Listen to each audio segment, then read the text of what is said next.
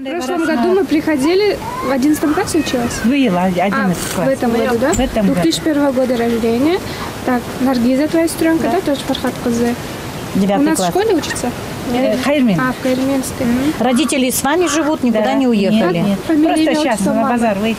чүй областынын аламөдүн районундагы ленин айылында элүүгө чукул тутун катталган бирок учурда бул айылда отуз төрт үй бүлө жашайт алардын ар биринде кеминде эле эки үчтөн бала бар айгүл абдыкадырова бул жерде кварталдык комитеттин башчысы болуп иштегенине он жылдан ашты бул убакыт аралыгында ал баардык үй бүлөлөрдүн социалдык абалы менен таанышып жана аларда тарбияланган балдар кандай шарттарда өсүп жатканынан кабардар болуп калган мектебибиз деле алыс эмес да жакын эле балдарыбыз жакшы э, жакын кирип чыгып окушат ар бир үйдө канчадан бала жашайт баардыгын билесиз маалымат бар ар бир үй бүлө туурасында ооба.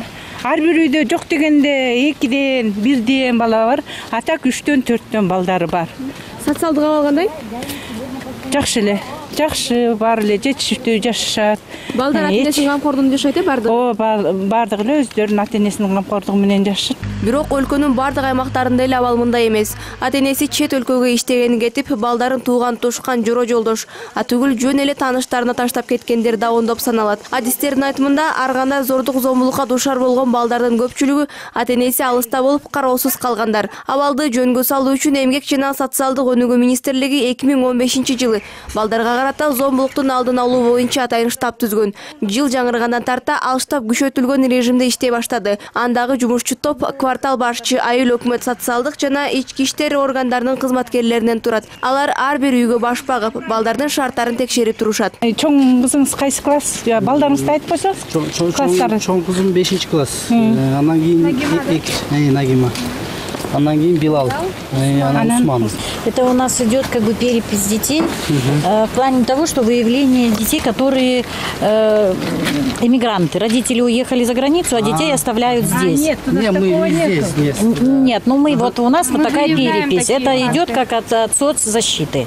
Ар бир он жети айыл өкмөттүн анонимдүү ящиктер бар. Ал жака келип кат таштап турса болот анткени үчүн бул жерде туугандар өздөрү айтпайт да бала же кошуна же көргөн билгендер келип анонимдүү түрдө сигнал берип койсо болот основание ошол сигналдын негизинде биз тиешелүү иштерди жүргүзөбүз анонимдүү каттар келип анан ошолордун изи менен баягы баары текшерген учурлар болгондой э? Бир эки учур болгон көбүнчө кечинде ата энеси көчөгө кое бербей коет? Же дагы бир нерсе болот ошон үчүн алар өздөрү звонок кылып сигнал берет. Канча убакта бирден баары текшерип көзөмөлгө алып турат? Буларда ар бир ай сайын э, короого иликтөө жүргүзүлүп турат ар бир ай сайын бирден барып турушат мыйзам боюнча чет жака кетип жаткан ата энелер балдарына атайын камкорчу дайындап кетиши керек. Бирок бул талапты баардык ата эне аткара бербейт. Мындан улам кайсы бала кай жерде жана кимдин колунда калды көзөмөлдөө кыйын дешет социалдык кызматкерлер. Учурда чүй областында кырк миң төрт жүз он эки үй бүлө катталса алардын ичинен эки жүз элүү үчүндө мигранттардын балдары жашайт. Э, биздин максат эмес ажыратуу ата энеден А, ошон үчүн биз ата эне менен э, бир э, кандайдыр байланышып консультация берип а, анан а, түшүндүрмө иштерди убагында жүргүзүп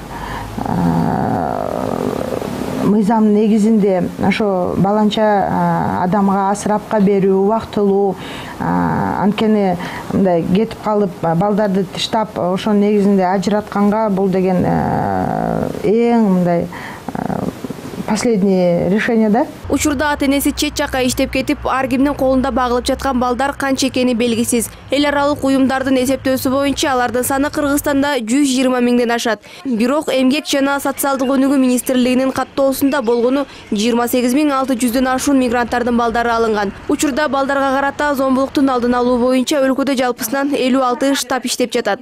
Кайыр жайлообекова диас акимбаев нтс